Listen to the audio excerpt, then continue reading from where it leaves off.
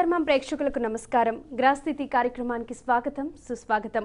గ్రహ సంబంధమైన ఎన్నో విషయాలు తెలియజేయడానికి అలాగే వాటి స్థితులను గురించి తెలియజేయడానికి మనతో పాటు స్టూడియోలో ఉన్నారు ప్రముఖ జ్యోతిష వినూత్న శిరోమణి డాక్టర్ జంధ్యాల శాస్త్రి గారు. నమస్కారం అండి. మా నమస్కారం.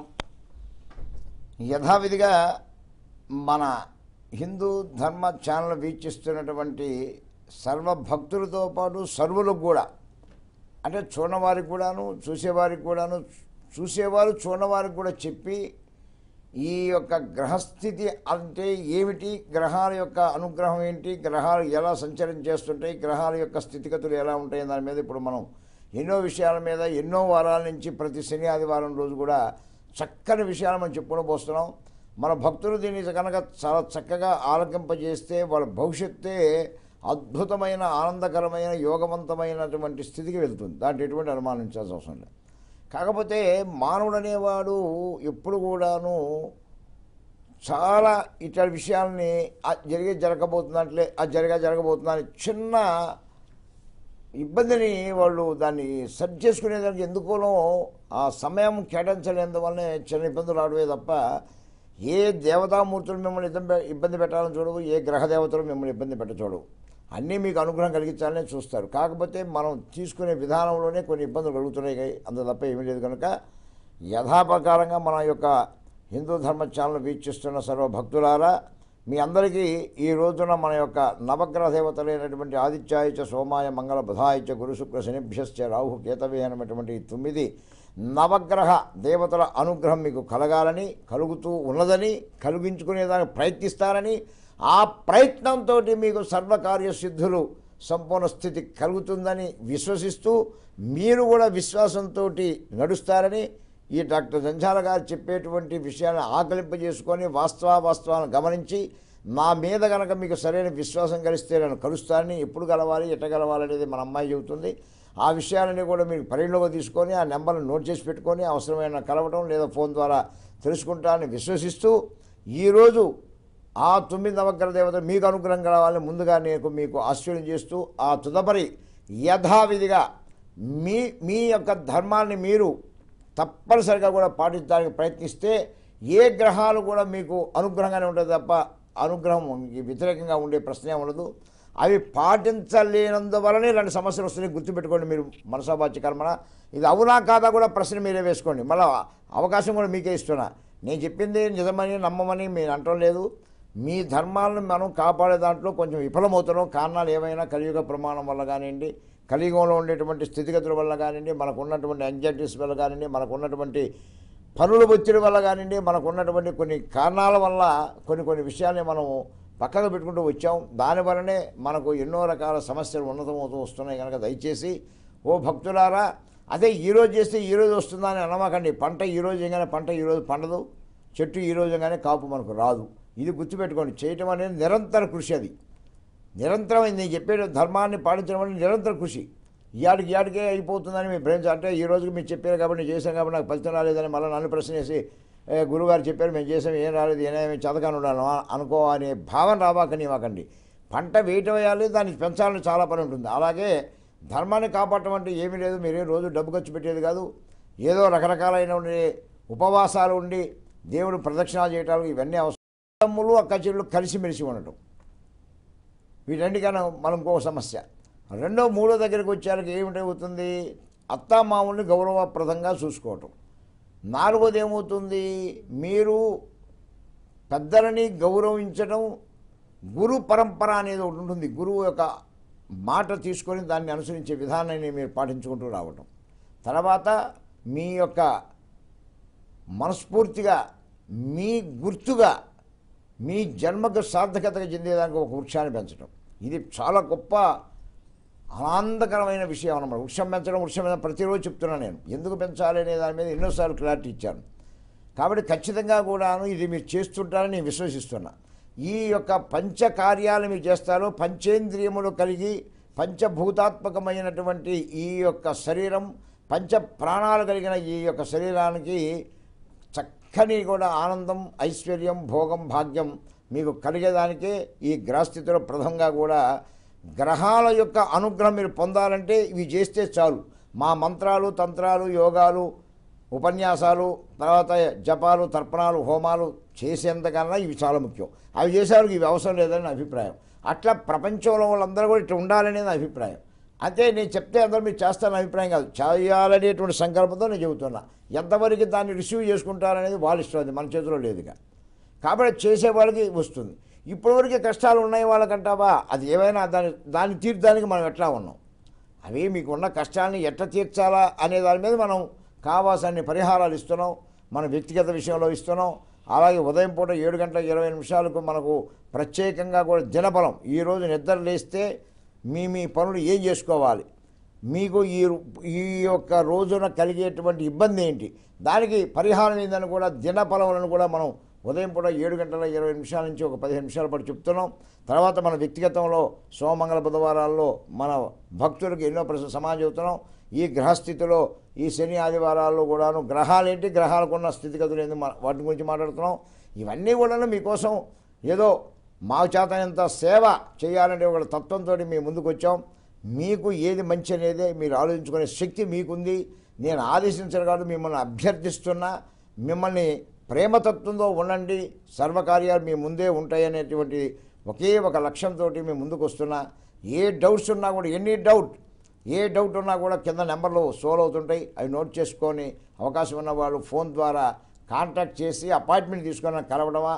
ఫోన్ ద్వారా మాట్లాడడం అనేది తెలుసుకుంటారని దానివల్ల మీరు సుఖశాంతులతో ఉంటారని ముందుగా ఆస్వాదిస్తూ తదుపరి మా అమ్మాయి ఏమీ రకమైనటువంటి మమ్మల్ని మీ ప్రేక్షకులకి ఏది అవసరాన్ని వాళ్ళు గమనించి ఉంటారు ఇది ఆ అమ్మాయి పాత్ర కాదు ఆ అమ్మాయి చెప్పే మాట కాదు ఇది.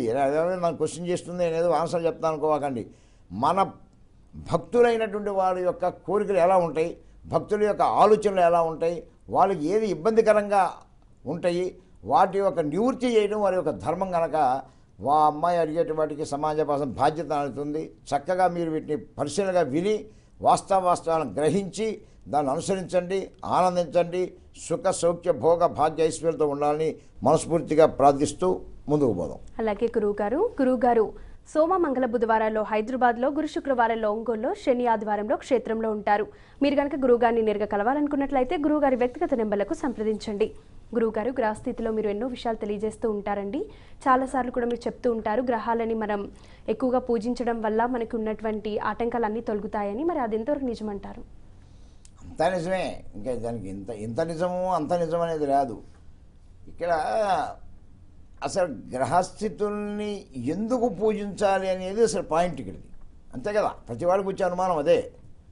ఎంతసేపు చెప్పినా కూడా ఈయన గ్రహాలు గ్రహస్థితుల్ని పూజించండి గ్రహాలు గ్రహస్థితులు పూజించండి అంటాడే కానీ దేవ దేవుడు దేవుని పూజించమని ఒక్క తలవని నోట్లోంచి రాదని కూడా అభిమానం మా మా భక్తులకు ఉంటుంది అది అసలు ఇక నేననేది ఏంటంటే అసలు దేవుడు పూజించిన వాడు ఎవరున్నారనేది నా అనుమానం. అసలు దేవుడు పూజించిన వాడంటూ వాడు ఉంటాడా? ఎవడు ఉండడు. ఎవడు వచ్చింది వాడు పూజిస్తారు. మళ్ళీ నేను మీరు పూజించండి దేవుడిని చెప్పేది ఏంది? అసలు రామాయణం తెలియనివాడు ఎవరు చెప్పండి అసలు నాకు తెలియదు నీకు తెలుస్తా తెలియదు రామాయణం గురించి ఎంత కొంత. ఒకవేళ మొత్తం బా రామాయణం కింద పైకి చదవకపోయినా కూడాను రామాయణంలో పాత్రలు ఏంది పాత్రధారులు ఏంది దాంట్లో ఉన్నటువంటి వ్యత్యాసం ఏంటి దానికి ఉన్నటువంటి ఒక పద్ధతి ఏందనేది నీకు తెలియదా? ఇంత తెలిసినా కూడాను మనం ఎంతవరకు మనం దాన్ని ఉపయోగించుకుంటున్నాం దాని ధర్మాన్ని ఎంతవరకు మనం పాటించగలుగుతున్నాం? ఎంతవరకు రైట్ ఇక్కడ? ఎంతవరకు జరుగుతుంది ఒక తర్వాత ప్రపంచాన్ని గురించి ఒక తర్వాత ఆలోచించండి. జరుగుతున్నదా? ఆయన ఒకటే ఒకటి శ్రీరామచంద్రుడు ఏంది? పితృవాక పరిపాలన. తండ్రి చెప్పాడు నేను అడుగులు పోతున్నా. ఇదే కదా దాని కాన్సెప్ట్? ఇవాళ నేను చెప్తే మా అబ్బాయిని అక్కడే పెట్టి మమ్మల్ని పోతాడు. ఈ టైం ఏంది? ఏసీలో పనుకుంటే అనుభవంలో పోవాయా స్వామి అంటాడు. అవునా? అంటే ఇక్కడ ఇక పితృపాలన పాలన మాట్లాడినట్ట కానట్ట? అలాంటి సమస్య కలియుగంలో వస్తుంది ఇది. ఎందుకంటే అది బిడ్డ తప్పు కాదు తండ్రి తప్పు కాదు. మళ్ళీ నేను తప్పులు పట్టడంలో ఇక్కడ. ఇది నేను ఒక చెప్పేదాన్ని భావాన్ని బాగా అర్థం చేసుకోవాలి ఇక్కడ. ఆనాడు ఆ రామాయణంలో ఉన్న పరిస్థితుల్లో ఆ యొక్క మహానుభావుడైన దశరథ మహారాజు శ్రీరామచంద్రమూర్తిని తన మాట కోసమై ఆయన ఎందుకు ఇచ్చాడు? ఆయన ఇష్టం ఇచ్చాడు. ఆయన ఈయన అడిగి ఇవ్వాల. ఆ రోజు ఎందుకో ఇచ్చాడు? ఆమె ఎందుకో అడిగింది? ఎందుకో ఇదంతా లోక కళ్యాణార్థం అది. పక్కన పెట్టండి. దాని గురించి నేను కాదంటం లేదు. కానీ తండ్రి మాటని చెప్పాడు కాబట్టి ఈయన వెళ్ళాడు అంతే. ఆయన వెళ్తున్నాడు కాబట్టి ఇందాక నేను ఒక మాట అన్నా సోదరి సోదరి మనులు అందరూ కూడాను కలిసిమెలిసి ఉండాలని ఒక మాట వాడాను నేను. దేనికి వాడాను? రామాయణం మాటే వాడాను నేను అక్కడ. లక్ష్మణుడు ఏం చేశాడు? భలేవాడు చెప్పి అన్న నువ్వు పోతే నీకు నేనేం చేయాలి ఇక్కడ కూర్చొని? ఇద్దరం కలిసి పదం పదాను వాళ్ళమ్మడి తక్కిన భర్తలు చేంజ్ చేశాడు? మీ ఇద్దరు పోయిన తర్వాత నేను ఎందుకు ఇక్కడ పని పాట లేకుండా అని అన్నాను కాదు నాన్న మీ ఇద్దరు భర్త శత్రుకున్నారా మీరు ఉండే రాజ్యాన్ని కాపాడండి అని వాళ్ళు ధర్మాలు చెప్పారు వెళ్ళారు. సరే ఎవరు? అక్కడ ఏం చేశాడు? అన్న తండ్రి తర్వాత ఎవరు పెద్దవాడు? అన్నయ్య కదా? అందుకని అన్న యొక్క ఆజ్ఞను ఈయన పరిపాలన చేశాడు. అంటే అన్నదమ్ముల్లో ఐక్యత ఉందానికి అదొక నిదర్శనం అయింది అక్కడ. అంతే కదా? సరే వీరిద్దరు పోతుంటే సీతగా ఉన్న సంబంధం ఉందా దీంట్లో? అసలు సీత పాత్ర ఏంటి అసలు అక్కడ? పెళ్ళి చేసుకుని ఇంటికి వచ్చింది. ఆయన ఏదో చెప్పాడు ఈయన ఏదో పోతున్నాడు. ఏం ఏం పని ఉంటుంది? అంతఃపురంలో ఉండొచ్చుగా వచ్చేదాకా? ఊర్మిళ ఉంది కదా? దక్షిణ భారత నిద్రపోతూ ఊర్మిళ ఉంది కదా? సీత ఉందా? ఉందా? లేదు లేదు. నా ధర్మపతి చెప్తాను నేను. ఆమె యొక్క నువ్వు ఎక్కడుంటే అక్కడ? నీ కష్టమే నా కష్టమే నేను ఇష్టం నీ ఇష్టం అక్కడ ఆమె ఒక ధర్మాన్ని చూపించింది. ఇవన్నీ ధర్మాలు జరుగుతున్నాయి కాబట్టి అక్కడ ఆయనకి రా ఆ యొక్క శ్రీరామచంద్రుడికి విజయ పరంపర అయ్యి ఈరోజు కూడా రామభద్రుడని రామచంద్రుడని శ్రీరామమూర్తి అని ఆయనే పితృవాగ్న పరిపాలన దక్షుడని ఈ రామరాజ్యాన్ని సృష్టించాను ఇన్ని రకాలైనటువంటి బిరుదులు వచ్చాయి. ఆయన ఎన్నో కష్టాలు పడితే. అట్టనే మన బిడ్డలకు కూడా నేను ఏం చెబుతారో కలియుగంలో అలా జరగడానికి వీల్లేని పరిస్థితి వచ్చింది. అందుకే ధర్మాన్ని మీరు పాటించండి అని ప్రతిసారి ఎందుకు వాడుతున్నారంటే ధర్మాన్ని చెప్పడం వేరు. ఇవన్నీ ధర్మాలు చెప్పడం ఉంటారు ఇప్పుడు నేను చెప్పినవన్నీ రామ ఇప్పుడు అలాంటిది ఎంతోమంది మహానుభావులు అయినటువంటి మన యొక్క పెద్దలు ఎంతమంది చాగడ కుడిశ్వరరావు గారు కానీ కానివ్వండి గరిపటి నరసింహరావు గారు కానీ కానివ్వండి స్వామి షణ్ముఖ శర్మ గారు గారు కానీ ఇంకా మనకు ఎవరో ఎంతమందో మహానుభావులు వాళ్ళ యొక్క మహాసరస్వతి పుత్రులైనటువంటి వాళ్ళు ఎన్నో మాటలు ఎన్నో రకాలుగా ఎన్నో వైరాలుగా దానికి ఎన్నో ఒక విడదీసి అక్షర అక్షరానికి కూడాను ఒక చక్కని విధానాన్ని అవలంబించేసి మనం చెబుతున్నారు ఓకే దానంతా ఓకే.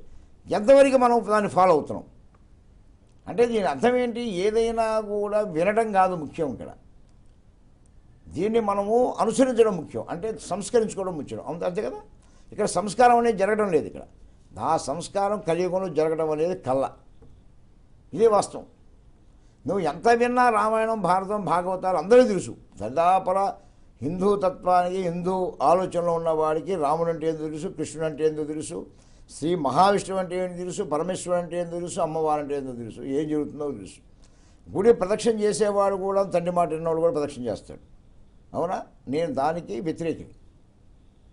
అర్థమైందా? నేను డైరెక్ట్గా చెబుతున్నా నేను.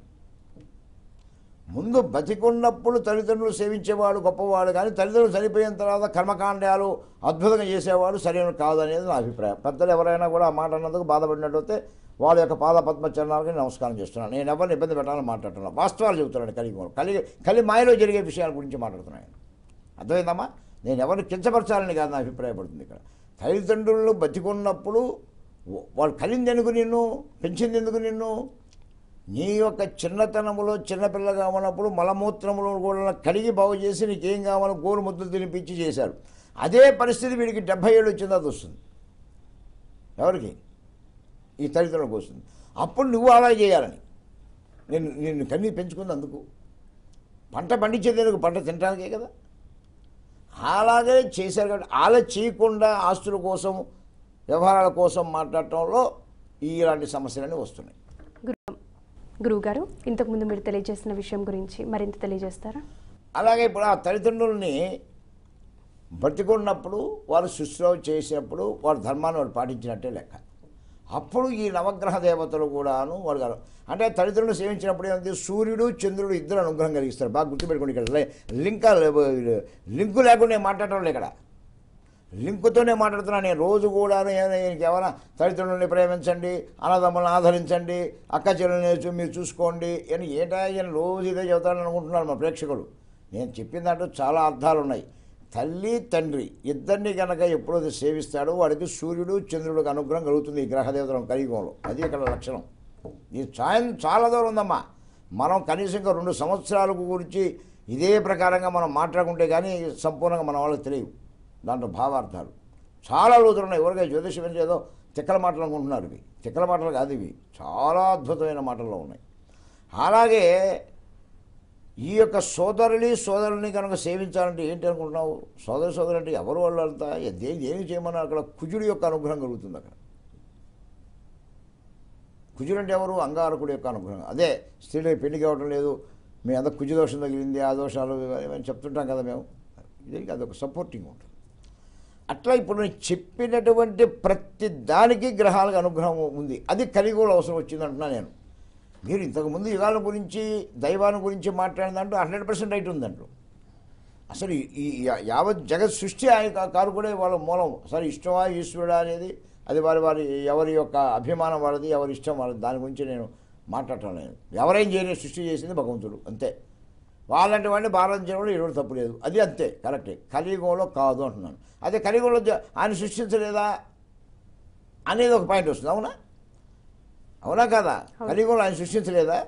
కలిగాను సృష్టించి కూడా ఆయనే కదట. ఈ యావత్ ఈ భూమి ఆకారం నువ్వే చెబుతున్నావు కదా. పిచ్చా లేకపోతే ఎవరు నీకు ఏమైనా స్క్రూలు వచ్చిందా గురుగారు మొత్తం కూడా చెప్పేది నువ్వేది చెబుతుండేవి. సృష్టి అంతా ఆయనే మూలం ఉంటుండేవి ఆయనే సృష్టించాలంటే మళ్ళీ ఇక్కడికి వచ్చారు ఆయన కాదు ఈయనంటావు ఏందంటావు అక్కడ అప్పుడు ఉన్నప్పుడు వాళ్ళు మానవ రూపంలోనే సంచారం చేసి అన్ని విషయాలు చెప్పినట్టుగా మన శాస్త్రం చెబుతున్నారు ఇక వెంకటేశ్వర స్వామి రాయిగా ఎందుకు మిగిలాడు?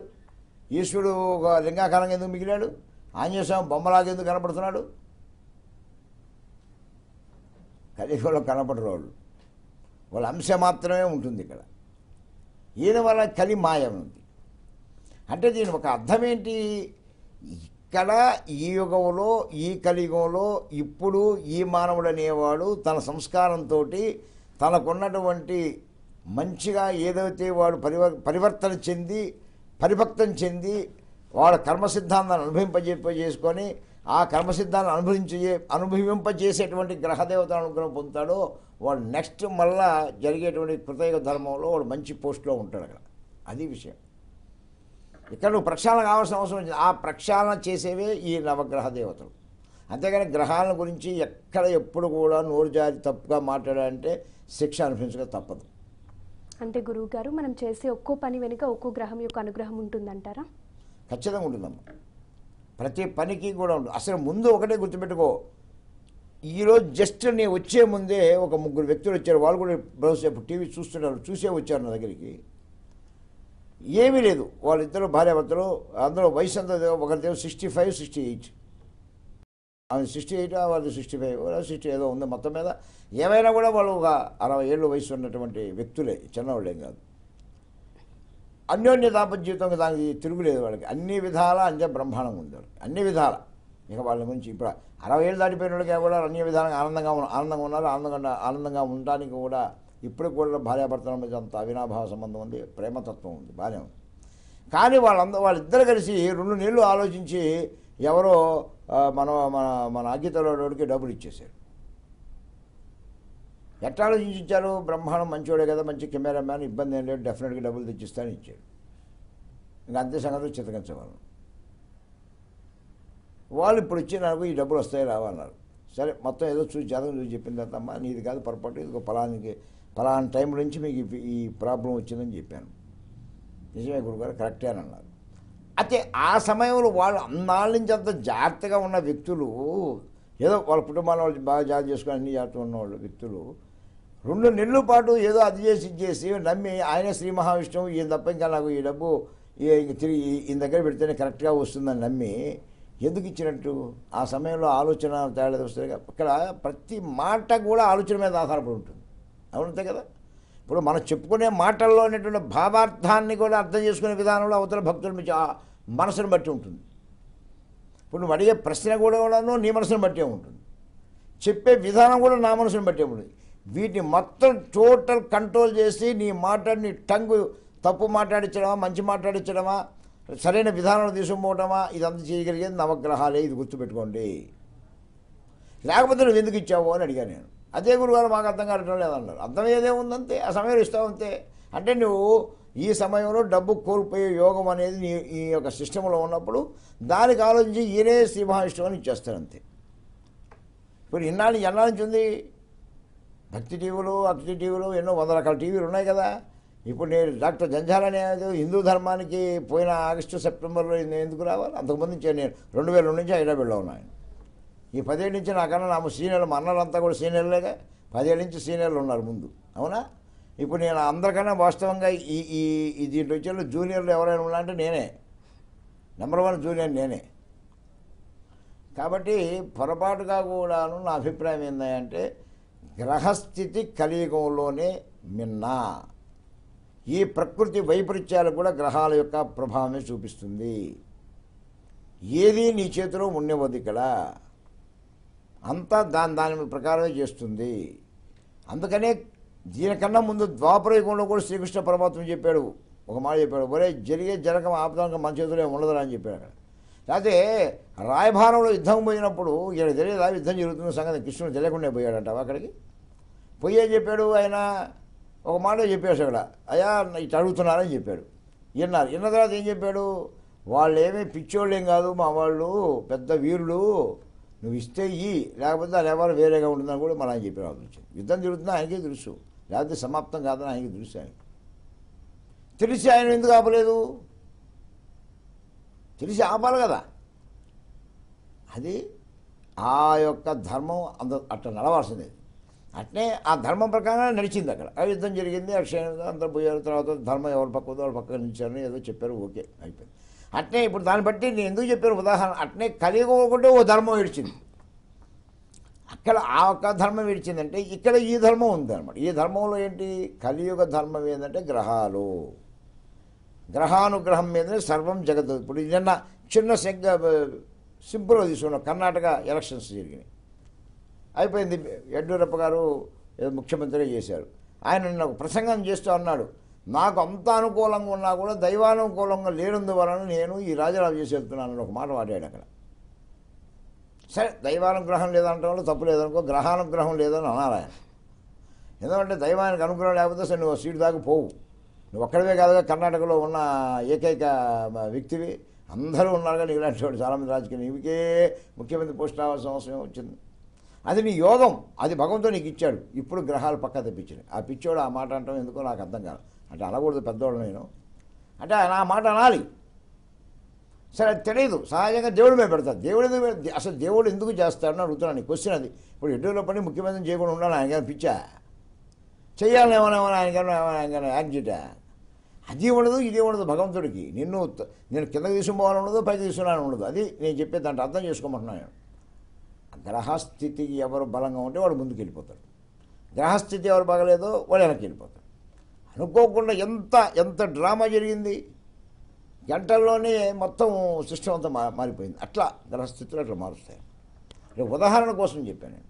కాబట్టి మన భక్తులు కూడా అర్థం చేసుకోవాల్సింది ఏంటంటే ఎందుకు డాక్టర్ శాస్త్రి గారు ఈ రకమైనటువంటి మాటలు మాట్లాడుతున్నాడని ఒక్కతర వాళ్ళు వాళ్ళు కూడా ఆలోచించాల? వాళ్ళు ఆలోచించకపోయినా కూడా ఇబ్బంది వస్తుందమ్మా. ఎందువల్లంటే మనం చెప్పింది ఏందో చెప్పాడు అని అభిప్రాయపడతారు. అట్టు కాదు కావాల్సింది. ఆయన చెప్పిన దాంట్లో ఇన్ని వివరాలు చెప్పాను నేను. రాయభారం ఏంటి ఏం జరిగిందో చెప్పా. శ్రీరామచంద్రుడు ఏందో చెప్పాను. గ్రహాలకు మానవులకు ఉన్న చెప్పాను. ఇందాక నా దగ్గరకు వచ్చిపోయినటువంటి ఆ మహాతరుల గురించి కూడా చెప్పాను. ఎంత కూడాను ఆ సమయంలో వాడి యొక్క మనసును బట్టి ఆధారపడుతుంది. అంటే గురువుగారు గ్రహాల యొక్క ప్రభావం అనేది మనపై ఉన్నప్పుడు మనం పూజలు అవి చేయడం ద్వారా వాటి నుండి తప్పించుకోవచ్చు అంటారా బాగా ఆలోచించమ్మా నీవు. దీనికి చిన్న ఉదాహరణ ఇప్పుడు మనము ఇప్పుడు ఎండాకాలం ఇది మే నెల. బ్రహ్మాండమైన నెల. బయటికి పోతే సగ్గుట్టే పరిస్థితి ఉన్నారు మనం బయటికి పోవాలి. కంపల్సరీ పోవాల్సిందే కదా. పోవాల్సిన పని ఉంది. ఇప్పుడు నేను బయటికి పోవాలని పని పని ఉంది. ఏం చేయాలి? బయటికి పోవాలంటే మనం ఏం చేయాలి చెప్పు? నీ ఆలోచన ప్రకారం. స్కార్ఫ్ అలాంటివి కట్టుకోవడం. ఏదో ఒకటి. ఒక గొడుగో లేకపోతే ఏదో ఒకటి. నెత్తికి త- తడిగొడ్డో ఏదో. ఆ ఎండని ఆ ఎండ అనేటువంటి దాన్ని తప్పించుకునేదానికి ఆ ఎండ అనేటువంటి దాన్ని నుంచి మనం కొంచెం రక్షణగా మనకు ఇబ్బంది లేకుండా ఉండేదానికి కొంత ప్రయత్నం చేయాలి. అంతేగాని దాన్ని ఆపలేంగా? ఎండనేమో రెండు చేతులు పెట్టి ఆపలేంగా మనం మన చేతిలో ఏం లేదుగా? దాన్ని తప్పించుకునే దానికి కింద ఉన్నోడు ఒక తడిగుడ్డు వేసుకొని పోతాడు ఇంకోటి కాస్త గుడి మంచివాడు గుడికి వేసుకొని పోతాడు ఇంకోటి కాస్త ఒకటి వేసేసి కారు వేసుకొని పోతాడు. అంతే కదా జరగాల్సింది. అంటే దానికి ఒక ప్రత్యామ్నాయం చేసుకుంటాడు. అది ఎంత అవసరం ఉందో మానవుడు యొక్క వాడి యొక్క స్థితిగతుల్ని బట్టి వాడి వివాహ వ్యాపార వ్యవసాయ ఆర్థిక మానసిక సాంఘిక విద్య ఉద్యోగ సంతాన సౌభాగ్య విషయాల్లో అన్నిట్లో కూడాను ఈ గ్రహాల యొక్క అనుగ్రహం కోసం కోసం వాడు కొంతవరకు సేఫ్. దీంట్లో ఇప్పుడు మళ్ళీ ఒకటి గుర్తుపెట్టుకో అవగానే కర్మలు మొత్తం తీసేదానికి ఏం కుదరవు ఇక్కడ. నేను మటలు చేసి వస్తాను నీకు వంద కొబ్బరికాయలు కొడతాను ఓహో ఆ అయ్యగారికి ఒక రెండు వందల రూపాయలు తప్ప రెండు వేల రూపాయలు డబ్బులు ఇస్తాను. నాకు పాపం లేకుండా పోతుందా అని దండం పెడితే ఏమి ఇవ్వరు గ్రహాలు కూడా. ఇంకా అసలు చిట్టా పెరుగుతుంటుంది. అట్లేం చెప్పమన్నా అక్కడ. నీకు ఈ కర్మ ఉంది నువ్వు బాధపడుతున్నావు ప్రాయచిత్తం పడమన్నాడు అక్కడ. అయ్యా తప్పు చేశాను నీ కాళ్ళ దగ్గర వచ్చాను. నమస్కారం. తప్పేం లేదుగా? తప్ప చేవన అది అక్కడ చేస్తే కొంతవరకు ఉపశమనం కలిగిస్తానని మన యొక్క విధానం కనుక మన భక్తులందరూ కూడా యథావిధిగా ఈ విషయాలను గ్రహించి చక్కగా దీంట్లో ఉన్న భావార్థాన్ని మీరు అర్థం చేసుకొని ఆ భావార్థంతో మీరు గనక ముందుకు గనక నడిచారంటే మీ జీవితం సుఖమయం అవుతుంది ఎలాంటి మీ ఇబ్బంది ఉన్నా కూడా నేనున్నా మీకు ఏం కావాలన్నా కూడా నేను సలహా ఇస్తా మీకు. నా సహకారం అనేది ఖచ్చితంగా మీకు ఉంటుంది కింద నెంబర్ ఉంది అది సహకారం ఉంటుందని చెప్పి రోజుకో ఫోన్ చేసి ఏది గురుగారు అడవకండి నన్ను దయచేసి ఎందుకంటే కొంచెం హడావుడిగా ఉంటాం కాబట్టి. నెంబర్ ఉంది నెంబర్ నోట్ చేసుకొని అపాయింట్మెంట్ తీసుకొని కలవండి. లేదంటారా? ఫోన్ ద్వారా అపాయింట్మెంట్ ద్వారా కూడా కలవండి. దానివల్ల మీకు నాకు చేతైనంత వరకు మీకు ఏమేమి ఇస్తాను మీరు గ్రహానుగ్రహం కోసం చేయండి నేను చెప్పినవి పాటించండి. చూడండి ప్రయత్నం చేయండి. దానివల్ల శుభం జరగాలని ఆశిస్తూ మిమ్మల్ని ఆస్వాదిస్తూ నమస్కరిస్తూ ఈరోజు సెలవు తీసుకుంటున్నాం. గురువు గారు ఈరోజు మీ అమూల్యమైన సమయాన్ని కేటాయించి హిందూ ధర్మం ప్రేక్షకులకు ఎన్నో విషయాలు తెలియజేశారు. ధన్యవాదాలండి. గురువుగారు సోమ మంగళ బుధవారాల్లో హైదరాబాద్లో గురు శుక్రవారాల్లో ఒంగోల్లో శని ఆదివారంలో క్షేత్రంలో ఉంటారు. మీరు కనుక నేరుగా కలవాలనుకున్నట్లయితే గురువుగారి వ్యక్తిగత నెంబర్లకు సంప్రదించండి. చూశారు కదండి ఇది వాటి గ్రహస్థితి కార్యక్రమం. మరో కార్యక్రమంలో మళ్ళీ కలుసుకుందాం. అంతవరకు సెలవు నమస్కారం.